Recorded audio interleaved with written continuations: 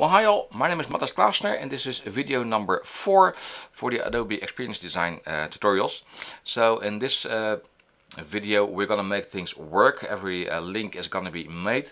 Um, so I'm in the prototype area um, but I need to alter this button, the name isn't correct anymore. Um, so I need to go to our locations instead of recipes. There we go that's taken care of. And now I need to select the button and go to the prototype panel. So there we go. And now we can easily drag and drop just like we've done in the uh, uh, video number one. So this artboard, um, it needs to be a slight left. There we go. And this main menu button will bring us back to the main menu again. So uh, home and then a slight right the other direction. There we go. So that's beautiful. Next up is the locations on the map. So I'm going to select that one and drag and drop onto the K12 location. There we go. Uh, slide left.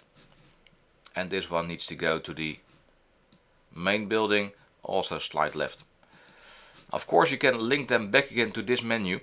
Um, but there's also an option to uh, go back to the previous artboard. So if I select my logo over here just press on the button, not drag and drop, just press it and then you can choose the previous artboard.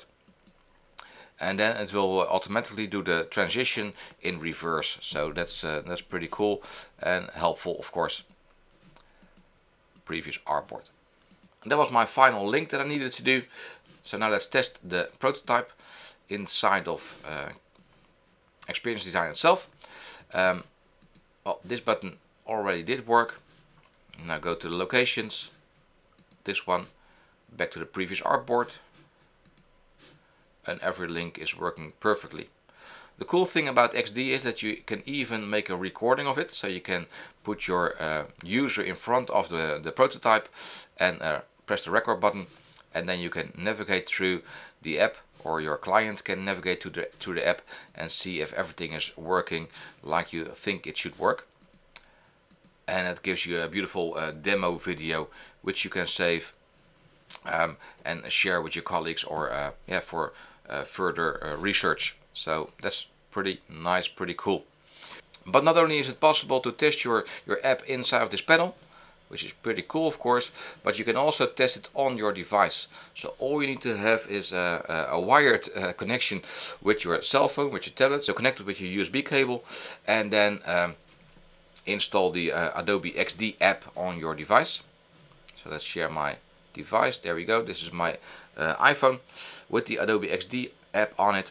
And it will show you your app uh, working on your device, uh, which is pretty cool and gives you a real feeling of how it looks and feels on the device itself. So that's pretty awesome. At least I think so. The cool thing is that it's uh, responding uh, immediately. So when I make this screen a bit smaller, and move this one aside a bit. There we go. And I uh, changed things so maybe this uh, should be a bit lower. It will directly be updated inside of your app uh, on your device. So uh, you can make changes wherever you are inside of the app and, uh, and alter things uh, in order to make it working more beautiful on the app itself. And the final thing that you can do to test your device is share it with a link to your client so then what you can do is uh, yeah, go to the share online option and that will give you an option to um, drag and drop your logo in there. So that will be the app icon on your device. You can allow your client or any anyone who has got the link to leave comments and just create the link. And I will upload it to the uh, Creative Cloud. There we go. And now we can uh, copy the link and uh, paste it in the browser. And that will give you this site with your app working in there perfectly. This is the app logo. And then you, your client or your, your colleagues can leave some comments, um, uh, some feedback to make the app even better. When you've uh, changed your, uh, your artboards, thanks to the, the comments, you can share it again and that will give you an option to make a new link or just update the link and um, that will replace it online. And what I'd like to do is go to my uh, cell phone again, go to the website with the browser, Then just go to this button and add it to your home screen. Give it a name.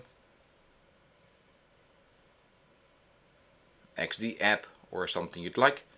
Choose add and now you'll find your app like a real app on your home screen. So open it up and it will load your app and it will feel like it's uh, the real thing. So in four videos time you've seen my workflow in Adobe XD. I think personally that this is a really cool and powerful tool for making your prototypes for your apps. Thank you for watching and maybe see you another time in another video.